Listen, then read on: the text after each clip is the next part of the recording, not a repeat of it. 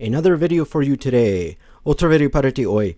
Colin from my Ana Computers YouTube channel asked me a question on my Open Web Analytics video. How do I update OWA, also known as Open Web Analytics? I'm going to show you.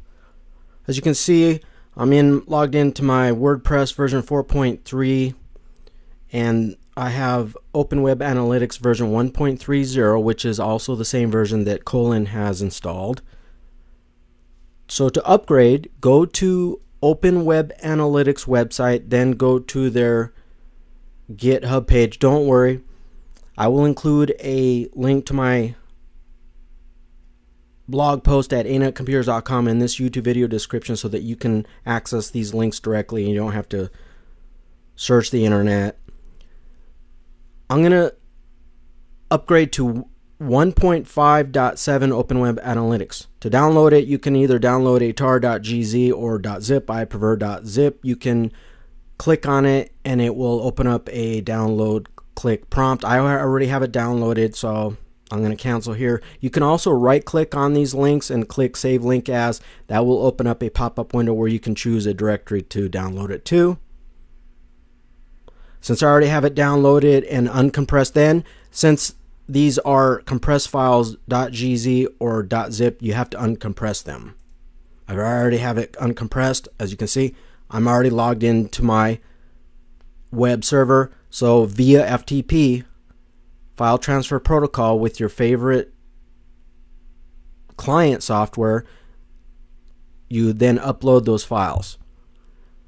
It depends on what kind of installation. I chose to install Open Web Analytics for testing in my WordPress, as you can see, my WordPress content slash plugin slash OWA. You can install it standalone, meaning in the web root, but not inside WordPress. Now, you all you do is select all these files. Since I already have version 1.3 on the right hand side, the left hand side is the 1.57. Select all these files, and then I just hit my arrow button and it's going to prompt me to transfer files. I'm going to choose overwrite, click on overwrite, and that labels them as overwrite, then click OK.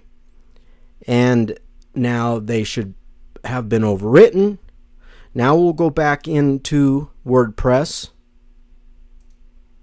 and I'm going to go to the dashboard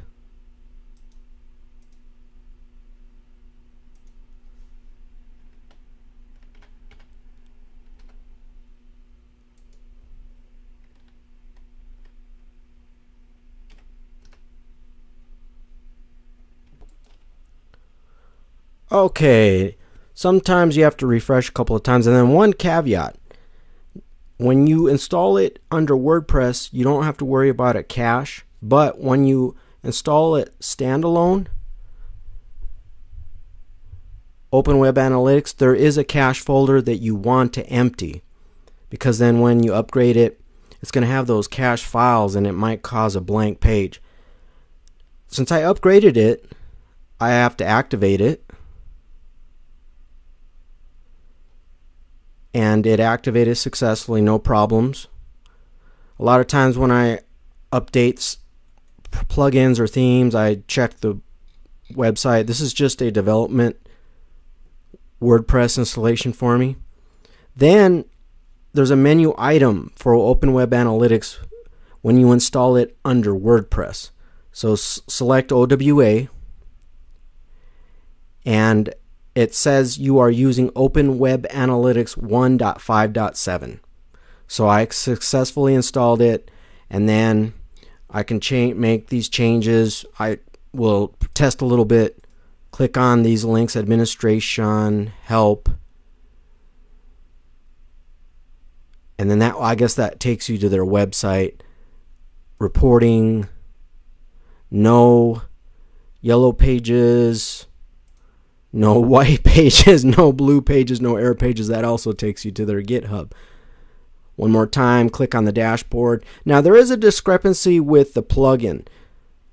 Under installed plugins, it says version 1.5.1 is installed. If you click on view details, 1.4 But that's for the WordPress. That's the WordPress plugin version. But if we go to settings and then OWA, it stipulates version 1.5.7. That's it. So that's how you upgrade your version of Open Web Analytics from version 1.30 or later. If you try to upgrade version 1.20 of Open Web Analytics, there are some different instructions. Hopefully, this information was productive and helped you upgrade your version of Open Web Analytics.